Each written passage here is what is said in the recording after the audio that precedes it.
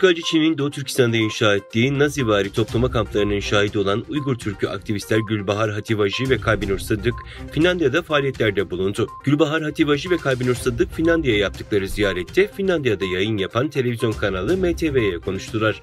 Doğu Türkistan'da yaşanan soykırımı anlatan şahitler orada yaşananları soykırım olarak tanıma zamanının geldiğini belirttiler. Fransa'ya göç Gülbahar Hativaji'den 2016 yılında Doğu Türkistan'a geri dönmesi istendi ve iddiaya göre emeklilikle ilgili belgeleri imzalaması istendi.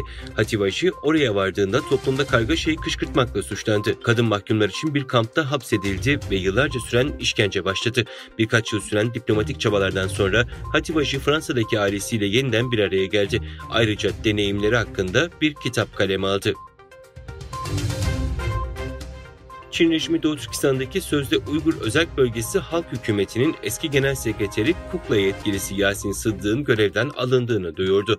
Çin basında çıkan haberlere göre 31 Mayıs'ta sözde Uygur Özel Bölgesi 14. Halk Komitesi Daimi Komitesi'nin ikinci toplantısında Kukla yetkili Yasin Sıddık Uygur Özel Bölgesi Hükümeti Genel Sekreterliği görevinden alındı.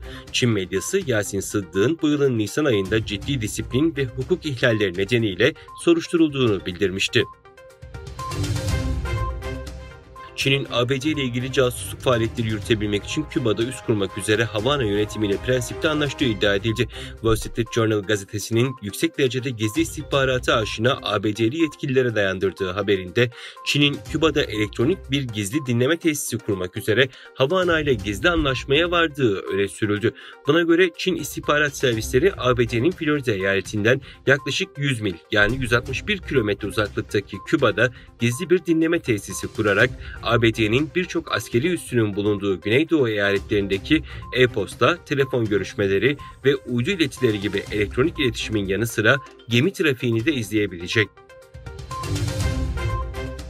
İngiltere Başbakanı Rishi Sunak, yapay zekanın oluşturabileceği tehlikelere işaret ederek bu konuda acilen harekete geçilmesi gerektiğini ifade etti. Sunak ve ABD Başkanı Joe Biden ikili görüşmelerinin ardından Beyaz Saray'da ortak basın toplantısı düzenledi. Sunak, ekonomik güvenliğin de önemine vurgu yaparak Çin ve Rusya gibi ülkeler ticari açıklığımızı manipüle etmeye ve sömürmeye, fikri mülkiyetimizi çalmaya, teknolojiyi otoriter amaçlar için kullanmaya veya enerji gibi önemli kaynakları geri çekmeye istekli, başarılı olamayacak yapacaklar şeklinde konuştu. ABD'de 2024 için başkan adaylığı konusunda özellikle Cumhuriyetçilerde büyük hareketlilik yaşanıyor. Demokratlarda Biden'ın karşısında güçlü bir aday ortaya çıkmazken Cumhuriyetçilerde aday enflasyonu yaşanıyor.